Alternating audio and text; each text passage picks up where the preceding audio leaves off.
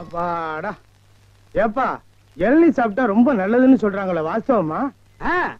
நீங்க இளநீ சாப்பிட்டா எங்க கடைக்கு நல்லது சாப்பிட்டதுக்கு அப்புறம் உங்களுக்கு நல்லது. ரொம்ப தமாஷா பேசுறீங்க. ஆமா இளநீ சாப்பிட்டா எமனோட பாசக்கயிறுல இருந்தே தப்பிச்சிடலாம்னு சொல்றாங்களே. உண்மையா?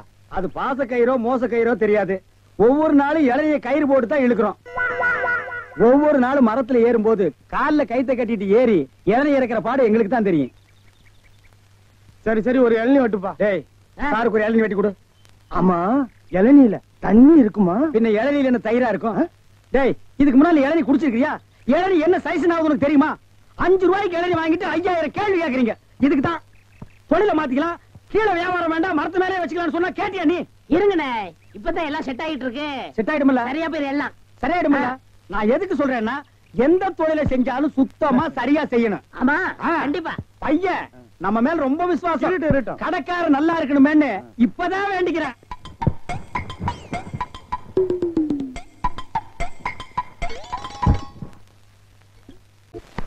ஐயா பிடிங்க. ஐயா வாங்க அம்மா வாங்க அக்கா வாங்க தங்கச்சி வாங்க. பிஸ்கி சாப்பிடுறீங்க பீர் சாப்பிடுறீங்க பிராந்தி சாப்பிடுறீங்க கள்ளச்சாராயம் சாப்பிடுறீங்க பட்டச்சாராயம் சாப்பிடுறீங்க. வீடு பத்தி எரிஞ்சா பையன் சர்வீஸ் உங்க ஊரு பத்தி எரிஞ்சா இளநி சர்வீஸ். வராது. என்ன நம்ம டைலாக்கே பேசுற? நம்மளையே ஃபாலோ பண்ற? ரொம்ப தப்பாச்சே. இளநீ எப்படி வந்துச்சு? தென்னை மரத்துல இருந்து புடுங்கினது பின்ன நாங்க மட்டும் என்ன இளநீ ஆலா மரத்துல இருந்தா புடுங்கணும் கடை எப்படிடா வந்துச்சு? ஊர்ல இருந்து பணம் வந்துருச்சுல ஓ சிங்கப்பூர் பணம். அதான் அன்னைக்கு அந்த கரடி கிட்ட வந்து ஐடியா கேட்டியா நீ? அவர்கிட்ட போய் நான் எதுக்கு நான் ஐடியா கேக்குறேன்? எனக்கு நான் மூளை இல்ல. ஏன் இல்ல. உன் மூளை தானே வரிசையா கசாப் கடையில கொட்டி கொட்டி வச்சிருக்கு. கண்ட பையெல்லாம் அதைத்தானே எடுத்து போய் குழம்பு வைக்கிறான். வியாபாரத்தை கவனி. அஞ்சு ரூபா மூட்டு ரூபா அங்க மூட்டு ரூபா. கடை இங்கதானே போடுறேன் ஆமாண்ணே.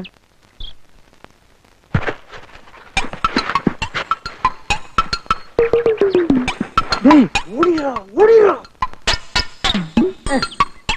டேய் இருடா அவசரப்படாத.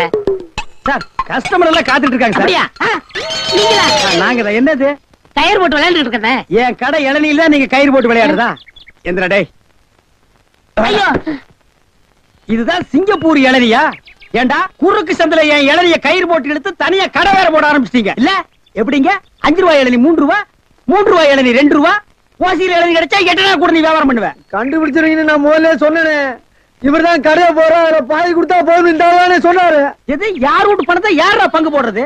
என்னைக்கு நீ தனியா கடை போட ஆரம்பிச்சிட்டியோ இனிமே என் முகத்துல முடிக்காத ஓடி போயிரு. அண்ணே எனக்காண்டி அவரை ஒரே ஒருத்தர் மன்னிச்சிருக்கீங்க ஒரே ஒருத்தரா? நீ என்ன பெரிய ஜட்ஜா உனக்காக மன்னிக்கிறதுக்கு. ரெண்டு பேரும் கூட்டுக்காக. மன்னிதானே இருங்கண்ணே.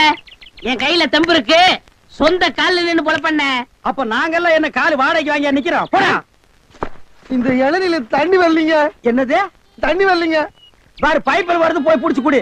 ஒரு இளநிய எவ்வளவு நேரம் உறிஞ்சுவேன் போடா. போடுறா.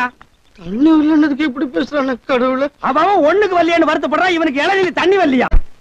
தாய்மார்களே தந்தைமார்களே அண்ணன்மார்களே தம்பிமார்களே ஒரு ஜான் வகுத்துக்கு என்ன பாடுபட வேண்டியதா இருக்குது? ஏதாவது போடுங்க ஐயா. ஐயா ஐயா ஓ, அப்பா. என்னடா இது நாடு? உங்களால யாரும் கோயிலுக்கே வர முடியலடா. வாழ் வாழ் கத்தாதீங்கடா. ஐயா ஐயா ஏதாவது பிச்சை போடுங்க என்னடா அது? இவ்வளவு ரெண்டு உடம்பு வச்சுட்டு பிச்சை எடுக்கிற உனக்கு வெக்கமா இல்ல? எவனதான் எந்த வியாபாரம் பண்ண விட மாட்டேங்கிறீங்களே. அவன் இவன் ஏடா உடம்பு பேசணும் அப்படியே எத்திரும் பாத்துக்க. இல்ல டேய் கோவில் தர்மகர்த்தா கிட்ட சொல்லி உன்னை பிச்சை எடுக்க விடாம பண்றேன். இங்க இல்லைன்னா நான் பழனிக்கு போறேன். அங்கேயும் தோர்த்தனா? திருப்பதி போறேன். அங்கேயும் தோர்த்தனா? திருப்பதி போறேன். ஆனா அங்கேயும் தோர்த்தனா? அட விடுங்கண்ணே. தமிழ்நாடு இல்லைன்னா இமயமலைக்க போறேன். இந்தியாவுல பிச்சை எடுக்க இடம் இல்ல. இந்தியாவுல பிச்சை எடுக்கிறதுக்கு தான் இடம். பாரு ரவுண்டு கட்டி உட்கார்ந்து இருக்கீங்களேடா டேய் ஏற்பது இகழ்ச்சின்னு அவையார் சொல்லிருக்காங்க அதே அவ்வையார் தான் ஐயா மட்டும் ஒண்ணுன்னு சொல்லிருக்காங்க ஐயோ பதிலுக்கு பதில் வார்த்தையை கண்டுபிடிச்சிருக்காயா இவன்? பிசினஸ் கிடைக்காது போங்கண்ணே. டேய் பிசினஸ் ஆடா இது? ஆ. லட்சக்கணக்கில் முதலீடு போட்டு பிசினஸ் பண்ற? உனக்கு முதலீடே ஒரு கையை ஒரு தட்டும் தானடா ஐயா பிச்சை போடுங்க ஐயா? எனக்கு தெரியும். ஐயா ஐயா. ஐயா ஐயா ஐயா ஐயா ஐயா. ஐயா அவனுக்கு பிச்சை போடாதீங்கய்யா. அவன் உடம்பு பாருங்க காட்டு பண்ணி மாதிரி இருக்கு. அடிச்சு போட்டா அஞ்சு ஒரு கறி வரும் ஐயா. இவனை எல்லாம் உழைச்சு சாப்பிட சொல்லுங்க ஐயா சோ பிச்சை போடுறத கிடைக்காத. கம்பு வச்சிருக்க மண்டை உடைச்சு முடியாது போயா.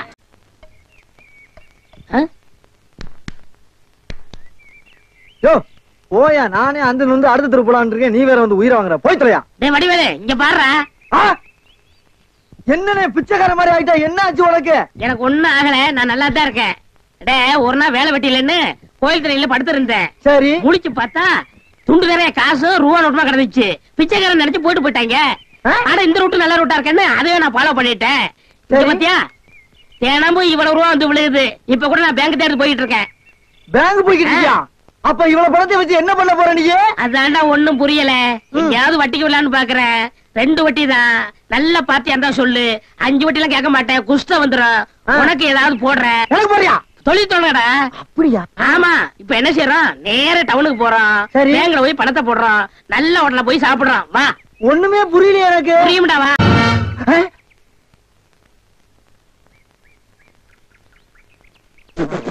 ஆ? என்ன? என்ன? யாரா? திருட்டு போய். என்னண்ணே? இளநீ வியாபாரத்தை விட்டு தென்னங்கண்டி வியாபாரத்தை இறங்கிட்டீங்க? இளநியா தாப்பா வச்சிருந்தேன். மாச கணக்குல விக்காம அது முளைச்சு தென்னங்கண்ணா ஆகி போச்சு. நான் இந்த சனியனை உழைச்சிட்டு வேற வியாபாரம் பண்ணலாம்னா பணம் கிடைக்க மாட்டேங்குது. அட கன்றாவியே உங்களுக்கான இந்த நிலைமை? ஏன்னா உங்களுக்கு பணம் தானே வேணாம் நூத்துக்கு ரெண்டு ரூபான்னு வட்டி கொடுக்க ஆள் இருக்குண்ணே நமக்கு. அது? என்ன எவ்வளவு பெரிய ஆள் நம்ம ஆள்ல எப்பா எனக்கு இந்த கடங்கடெல்லாம் வாங்கி சிக்கல்ல மாட்டி பழக்கம் இல்ல. என்ன விட்டுரு ஏன்னா உங்களுக்கு ஒண்ணுனா என்னால தாங்க முடியுமா ஏன்னா நான் என்ன பாருங்கல்ல உன் தலைமையில வச்சிருக்க மாதிரி தாங்க முடியலங்கிற? இல்ல அதுக்கு இல்ல ஐயாடு சொல்லி வாங்கிட்டு வாங்கினேன் நீங்க. ரொம்ப சோகப்படுற இல்ல? வாங்கண்ணே வாங்கண்ணே அண்ணா செருப்பு கழட்டி போங்கண்ணே. ஓ செருப்புக்கு டோக்கன் சிஸ்டமா அவ்வளவு பெரிய பைனான்ஸ்ரா பின்ன? அப்பா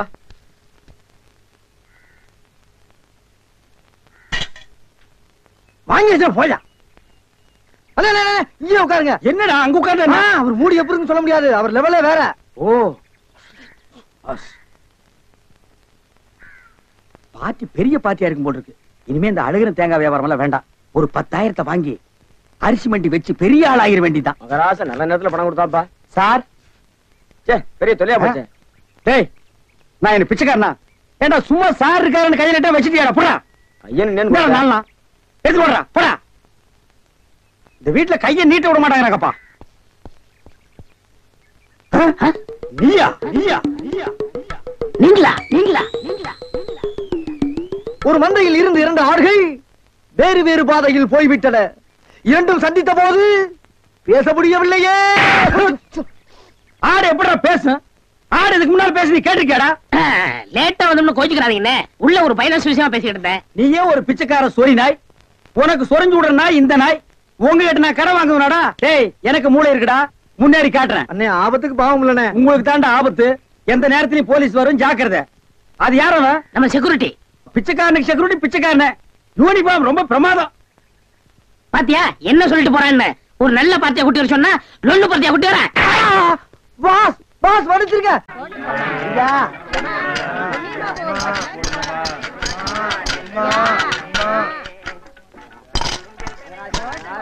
அம்மா ஐயே அம்மா அம்மா எனக்கு தர்மம் பண்ணுங்க. மக்களை பெற்ற மகராசி. புள்ளைய பெற்ற புண்ணியவதிங்களா எனக்கு தர்மம் பண்ணுங்க. அம்மா ஐயே தாயே எனக்கு தர்மம் பண்ணாதாம்மா. நீங்க நல்லா இருப்பீங்க. எட்டனா கூட போலாம் பரவாயில்ல நாய் நாய் நாய். ஐயா தீஞ்ச மண்டா தர்மம் பண்ணியா? வேணியா உனக்கு இளநீ அதிக விலை வச்சு வித்தியல்ல? அந்த பாவம் உனக்கு குஷ்டம் பிடிச்சு போச்சு. அறிவு கெட்டவனே. இளநீ அஞ்சு ரூபாய்க்கு வித்தா குஷ்டம் பிடிக்குமா? அப்ப பிளாக்ல அரிசி விக்கிறவன் ஜவுளி விக்கிறவன் சிமெண்ட் விக்கிறவன் கவர்மெண்ட் சொத்தை ஏமாத்தி திங்கிறவனுக்கு எல்லாம் என்னடா பிடிக்கும் எட்டனா போட வக்கில்லாத நாய் லா பேசுது பாரு போடா. அம்மா தாயே. டேய் நில்லு. எங்க போயிட்டு வர்ற? கோயிலுக்கு தான். கையில தேங்காய் பழம் இல்ல நெத்தியில விபூதி பட்டை இல்ல கோயிலுக்கு போனியா நீ? பாக்கெட்லயா எட்டனா நல்லா வச்சிருக்கிறியா? பைசா இல்ல. டேய் கோயிலுக்கு எல்லாம் வரும்போது பாக்கெட்ல அஞ்சு பத்து வச்சுட்டு வாங்கடா பிச்சைக்காரங்களுக்கு தர்மம் பண்றதுக்கு. இல்லன்னா உள்ள இருக்கிற சாமியா வந்து ஒன்னு அடிச்சு போடு. போடா. பய. வேறும் பய. யோ என்ன வாயா உனக்கு? என்ன வாய்? தோல் வாயிடா தெரியல? தெரியுது. திமிரப்பாடு உங்களோட உட்கார்ந்து இருந்தா எங்களுக்கு பிச்சை கிடைக்காதியா? வாயா நான் ஓ கவர்மெண்ட் ஜாப் ரிசைன் பண்ணிட்டு போறாரு இவரு. சோரி புடிச்ச மொன்னா நாயி அந்த முக்குல போய் உட்கார்ந்து பிச்சை எடுக்க போகுது. அதுக்கு லவுட்ட பாரு. சவுண்ட் என்னமா குடுக்குதா இது! போடா.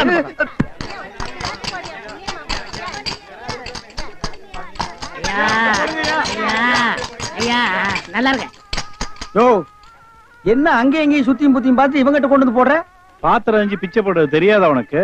அதான் இது. ஓ அதானா இது? என்ன படிச்சிருக்க நீ? பிஏ ஓ இன்னும் பத்து வருஷத்துக்கு அதையே படி. ஏய் பாத்திரத்தை சுத்தமா விளக்கிட்டு வந்து உட்கார்ந்துட்டியா? பரம்பரை பிச்சைக்காரன மிஞ்சிட்டா நீ. ஐயா. ஐயா. ஓடுங்க ஓடுங்க. தர்மம் பண்ணுங்க ஐயா. ஐயா தர்ம பிரபு எனக்கு தர்மம் பண்ணுங்க ஐயா. கையில கால்லாம் இல்லப்பா. அப்புறம் எதுக்கு உள்ள போனேன்? ஓசியில உண்டை கட்டி வாங்கிட்டீங்க வா. நம்ம ட்ரூப் இருக்கு லைன்ல போய் உட்கார். பிச்சை எடுக்க துமுறு போல போல உனக்கு. ஆமா நான் பிச்சை எடுக்கிறேன். இவன் பேங்க் வச்சு நடத்துறான். டேய் நான் பிச்சைக்காரன் தானே? இந்த பாத்தியா பத்து ரூபா. உன் பாக்கெட்ல பத்து பைசா காட்டுறான் காட்டுறா. போடா நாய நாய போடா. ஏய் போலீஸ்டா போறான் பாருங்க. தொட்டீங்க அப்புறம் ஏன் வியாதி உங்களுக்கு ஓட்டிங்க ஆமா எனக்கு தெரியும்டா. அழுவாதப்பா. அழுவாத. ஐயோ என்ன கொண்டு வந்து இந்த கும்பல்ல போட்டாங்களே. நான் யாரு? இவங்க யாரு? புலிய பார்த்து பூரா சூடு போட்ட கதை ஆகி போயிடுச்சு. ஏன் அழுகுற நமக்கெல்லாம் மறுவாழ்வு கொடுக்கத்தானே அரசாங்கம் நம்மள எங்க கொண்டு வந்து வச்சு அடைச்சிருக்காங்க கவலைப்படாத டேய் என்ன தொடாதடா என்ன தொடாத நீயும் அதான் நானும் அதான். அப்புறம் என்ன தொடாத அதானே. டேய் நீ வேணா இருக்கலாம் நான் அது இல்லடா வேற எது நான் சும்மா டூப்ளிகேட்டா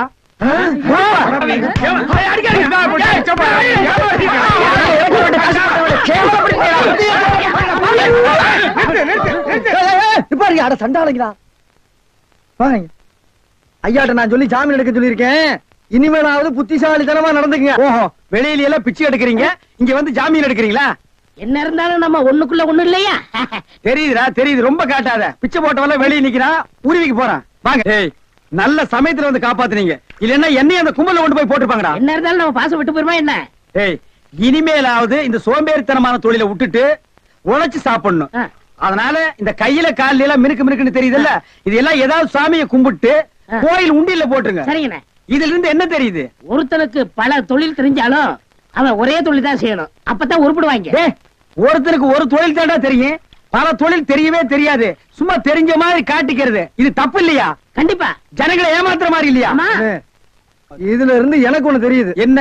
அன்னையும் பிதாவும் முன்னறி தெய்வம்னு அவ்வையார் சொன்னது எனக்கு தெரியுது. அந்த பார் அவையார் கூப்பிடுறாங்க. போ தெரிஞ்சிட்டு வாடா. அவையார் கூப்பிடுறாங்க. ஞான பழம் வாங்கிட்டு வா